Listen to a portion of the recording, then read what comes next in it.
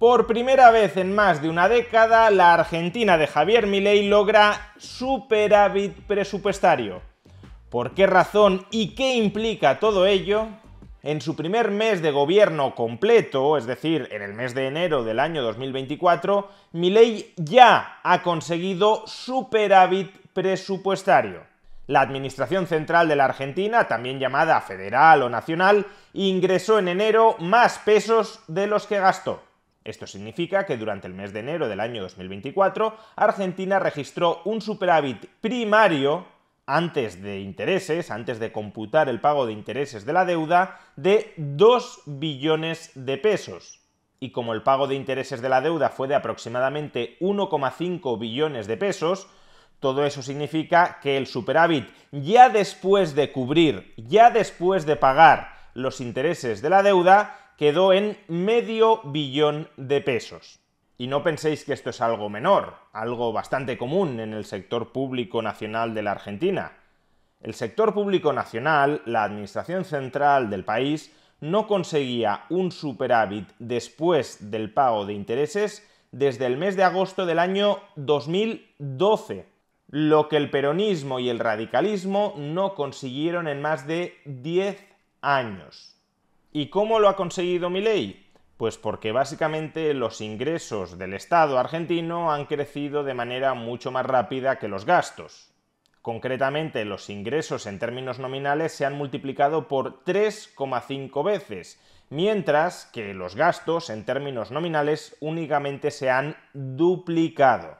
¿Y cómo es posible, primero, que los ingresos estén creciendo tanto y segundo, que estén creciendo más que los gastos? Bueno, la primera pregunta es muy sencilla de responder. Los ingresos están creciendo tanto no porque mi ley haya disparado estratosféricamente todos los impuestos, sino por la inflación. Estamos hablando de aumentos de la recaudación en términos nominales, no en términos reales. De hecho, en términos reales, después de descontar la inflación, los ingresos prácticamente no crecen. Eso significa que en términos reales los ingresos del Estado argentino durante el último año apenas han crecido un 0,5%. La clave de la gestación de este superávit presupuestario, por tanto, reside en los gastos. Eso equivale a un recorte del gasto real de más del 15%. ¿Y cómo ha conseguido Javier Milei recortar el gasto real tantísimo? Pues por un lado porque ha aprobado recortes del gasto nominal, o también ha eliminado prácticamente las transferencias discrecionales a los gobiernos provinciales, y a su vez congelación nominal de otras partidas del gasto. Si tú congelas el gasto nominal mientras la inflación sigue creciendo, eso equivale a un recorte real de ese gasto sin recortarlo en términos nominales. ¿Y por qué alcanzar un superávit presupuestario es tan decisivo, es tan significativo, es tan importante para la economía argentina? Pues porque es la condición sine qua non para la reconstrucción monetaria y financiera del país. Por un lado, si el gobierno argentino tiene un superávit persistente, no solo en el mes de enero, sino el resto de meses del año y el resto de años de ahora en adelante, entonces el gobierno argentino, en la medida en que está ingresando más de lo que gasta, incluyendo en el gasto los gastos financieros, entonces el gobierno argentino, como digo, se vuelve solvente, tiene capacidad para devolver su deuda. Y si el gobierno argentino tiene capacidad para devolver su deuda, sucederán dos cosas. La primera es que podrá volver a emitir deuda en los mercados financieros en condiciones de normalidad, si es que lo necesitara para afrontar algún tipo de gasto extraordinario.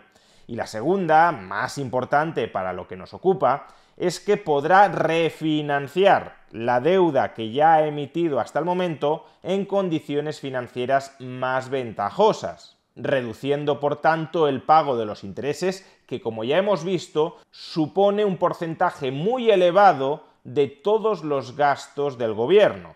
Concretamente, los gastos no financieros del gobierno central son alrededor de 2 billones de pesos y los intereses 1,5 billones de pesos casi la mitad del presupuesto del gobierno central argentino se va a pagar intereses. Y por otro lado, este superávit financiero, si tiene un carácter persistente, es la solución al problema de la inflación en Argentina. Démonos cuenta, en el mes de enero del año 2024, el gobierno central de la Argentina ha ingresado medio billón de pesos argentinos más de los que ha gastado. ¿Eso qué significa? ¿Eso a qué equivale? Pues eso significa que el gobierno argentino ha retirado de circulación medio billón de pesos. Por tanto, ya de entrada hay una reducción de la oferta monetaria en pesos. Pero no solo eso, en la medida en que los ciudadanos argentinos se formen las expectativas de que en el futuro la oferta de pesos no va a volver a aumentar de manera alocada, que el gobierno no va a seguir emitiendo pesos para financiar su déficit público, entonces ya no es solo que se reduzca la oferta monetaria en pesos, sino que la demanda monetaria en pesos se va a incrementar y más gente está dispuesta a mantenerlo en su saldo de tesorería. Todo ello, gracias al superávit financiero, significa estabilización del valor del peso y por tanto fin de la inflación. Pero el hecho de que ya en enero se haya conseguido un superávit tan holgado y de que la voluntad de Javier Milei sea asegurar al menos el equilibrio presupuestario, desde luego ha girado, ha cambiado las expectativas del mercado. Y por eso, durante los últimos días, se han producido dos fenómenos. Por un lado, los bonos del Estado argentino, la deuda pública argentina, se ha revalorizado de manera muy notable durante las últimas jornadas. Es decir, que el mercado anticipa una mayor probabilidad de que esos bonos se van a terminar pagando. En este gráfico, por ejemplo, estamos mostrando la cotización del bono argentino en dólares a 30 años y como podemos observar se halla en su precio más elevado desde el año 2021.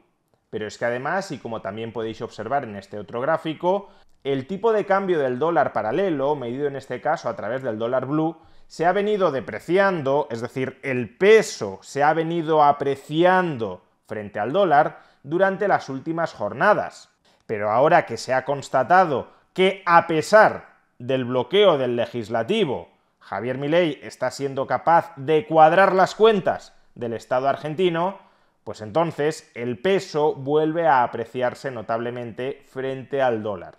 Este es, por tanto, el camino, el único camino, de hecho, el superávit financiero, o al menos el equilibrio presupuestario, es decir, que Argentina no gaste más de lo que ingresa, por extraño, por imposible que pueda parecernos hoy, gozará de estabilidad de precios. El capital global volverá a estar deseoso, o al menos volverá a estar dispuesto a entrar en Argentina sin miedo a que lo expropien, ya sea con nacionalizaciones o con el impuesto inflacionario. Y el reto de mi ley justamente estará en preservar, en proteger, en defender lo que ya ha logrado en su primer mes completo de gobierno la inflación ha licuado muchas transferencias, como las pensiones, como los sueldos públicos, y estos colectivos van a empezar a ejercer presión para aumentar esos ingresos en términos nominales, para recuperar poder adquisitivo. A su vez, la recesión de la economía argentina, derivada no solo del necesario ajuste presupuestario, sino también